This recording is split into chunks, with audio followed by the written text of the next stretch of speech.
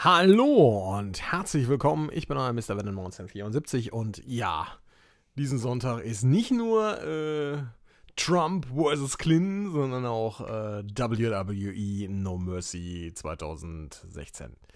Der wieder SmackDown Only Pay-Per-View. Ich habe auch hier den Zettel. Habe diesmal nicht das passiert wie beim letzten Mal, dass man irgendwie ein Match vergisst und in letzter Sekunde erinnert.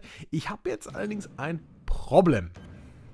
Weil wir haben hier in dem 2K16 äh, nichts mit No Mercy. Deswegen würde ich einfach mal sagen, wir haben ja das Schöne, es ist ja hier, ich habe ja hier die Golden Complete PC, hast du nicht gesehen, willst du gar nicht hier haben, äh, Edition. Machen wir einfach den Halloween Havoc. Ist ja jetzt im Oktober vielleicht jetzt auch nicht so unpassend. So, können wir auch. Komm, machen wir noch einen Titelkampf, machen wir noch richtig. So, mal US-Title. Äh. Quatsch, Intercontinent natürlich. So.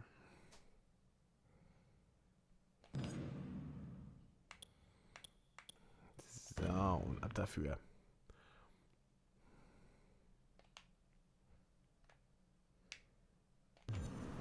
So.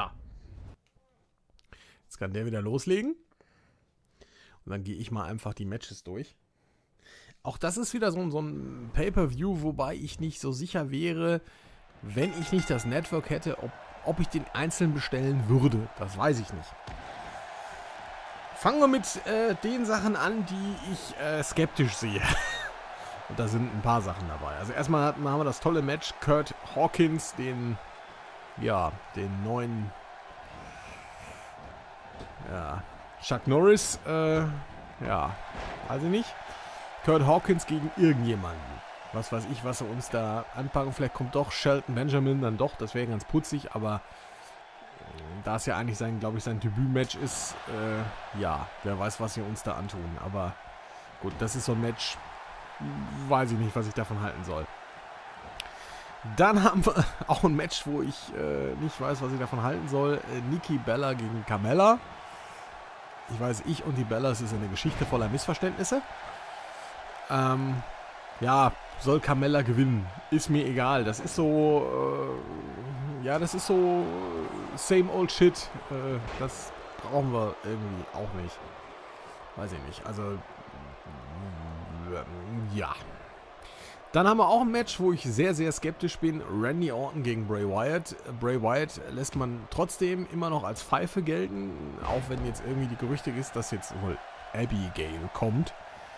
Äh, ich hoffe, die lassen Bray Wyatt mal endlich stark aussehen, aber vielleicht brauchen sie wieder einen Randy Orton, der alles so kaputt macht.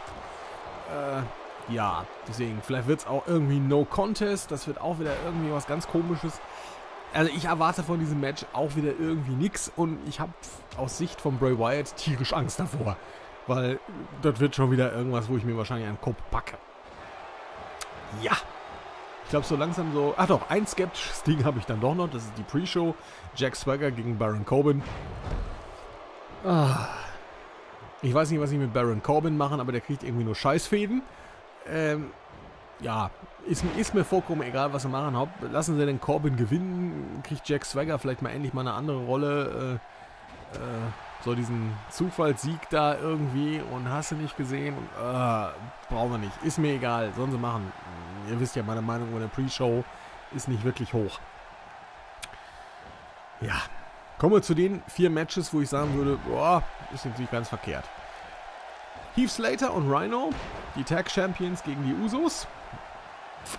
Äh, ich weiß nicht, was mit ähm, Heath und Rhino vorhaben. Auch da gibt es wieder Gerüchte, Split und hast du nicht gesehen, finde ich ein bisschen unsinnig. Vor allem weiß ich nicht, was sie da mit Rhino vorhaben. Äh, das macht keinen Sinn. Also die Kombination kann ruhig weiter bestehen.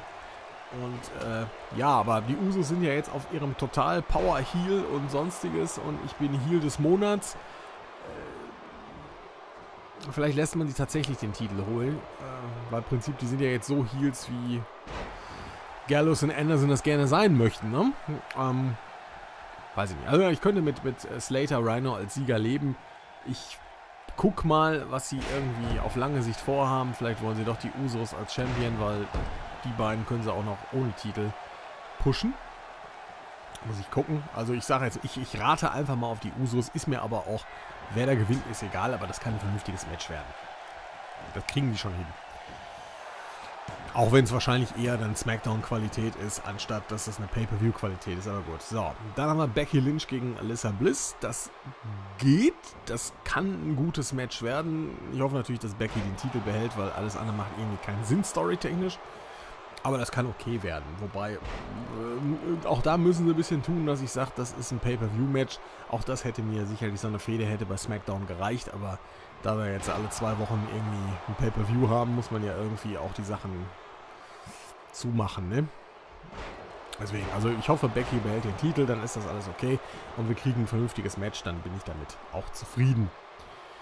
Kommen wir zu dem Match, was wir gerade sehen. Was ich bis jetzt eigentlich vom Booking, ich würde sogar sagen, besser als den, als den äh, Anführungszeichen World-Title äh, sehe, weil The Miz gegen Dolph Ziggler super gute Promos, super gute Chemie. Ich hätte nie gedacht, dass das so eine geile Fehde wird. Und das kann ein richtig gutes Match werden. Ich weiß jetzt nicht, warum sie äh, unbedingt The Miz den Titel wegnehmen sollen. Gut, klar, kurz für die Leute, die das nicht wissen, also es geht darum, Titel gegen Karriere, auch das wird immer gerne wieder genommen.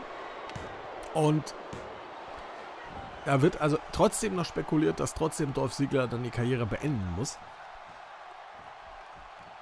Ja, mittlerweile äh, haben ja genug äh, Internetfans ihn zu dem gepusht, was er jetzt ist. Er ist ja jetzt nicht mehr so hier in der 25. Untercard. Aber ähm, ja, The Miz funktioniert als Heal so gut. Äh, warum willst du den unnötigen Titel wegnehmen? Vor allem dann können sie mit Dolph nochmal irgendwas machen, keine Ahnung. Vielleicht machen sie was weiß ich nochmal, irgendwie großes Comeback oder vielleicht äh, tränenreich und geh doch nicht und kannst du nicht und willst du nicht und oder er verliert unglücklich, sodass sie sagen, nee komm, so läuft das nicht und dann wird das, läuft die Fehde nochmal weiter. Also ich würde mich wundern, wenn wir, wenn der, wenn wir Miss äh, den Titel verliert. Vielleicht machen sie es auch so, dass äh, Dolph durch Auszählen oder DQ irgendwie gewinnt und trotzdem wir Miss den Titel behält oder so ein Quatsch. Irgend so ein Blödsinn. Aber ich, ich vermute, äh, The Miz wird das Ding irgendwie rocken. Ja, dann haben wir AJ Styles gegen Dean Ambrose, gegen John Cena. Ich bin mal gespannt, was sie mit Dean Ambrose in Zukunft vorhaben. Also erstmal macht es keinen Sinn, AJ Styles den Titel wegzunehmen. Vollkommener Unsinn, der soll gefälligst den Titel behalten. Ähm, kann natürlich sein, dass jetzt äh, Ambrose vollkommen äh, wieder, äh, ich meine, der war richtig face, war der sowieso nie, äh, dass er dann wieder irgendwie in Richtung Heel turnt und äh, ja, und dann auch wahrscheinlich in Anführungszeichen Cena den, den, den Titel vermasselt. Und dann hast du natürlich Ambrose Cena und dann kann man vielleicht mit AJ Styles irgendwas anderes machen. Vielleicht kriegen wir dann AJ gegen Randy Orton oder sowas. Weil bei der Survivor Series wissen wir ja schon, wir kriegen Goldberg gegen Brock Lesnar. Ja, Gut, besser als WrestleMania 20 kann es nur werden. äh, bin nur mal gespannt, ob die Leute dann wieder vollkommen angepisst sind. Und vielleicht, was ihr mitgekriegt habt, äh, Vince McMahon ist äh, stinkig, was die Raw-Ratings angeht. Also ich hoffe nicht, dass jetzt äh, die neue Ära jetzt beendet wird und wir kriegen wieder die äh, Bro Strowman-Title-Scheiße oder sowas. Dass da wieder die Riesen irgendwie die Titel kriegen, weil dann äh, weiß ich, gehen die Ratings noch weiter nach unten. Weil ich glaube, das hat er, glaube ich, nicht verstanden. Das interessiert dann die Leute noch weniger. Ja, aber sonst, ich bin mal gespannt. Also ist äh, von die Hälfte, die Hälfte der Cards kann was werden. Die andere Hälfte kann mich eigentlich nur positiv überraschen. Da erwarte ich nicht viel. Äh, auch das wäre wieder, glaube ich, ein, ein Pay-Per-View, wo es nicht hätte acht Matches sein müssen. Äh, sag ich mal so. Ja, komm, hier. Skull Crushing Finale. Was das? Nein! Kickout bei 2,99999. Ähm, ja, wie gesagt, kann, kann okay werden. Hauptsache, sie verbocken es irgendwie nicht. So, nochmal. Komm, mach fertig. Schmeiß ihn raus.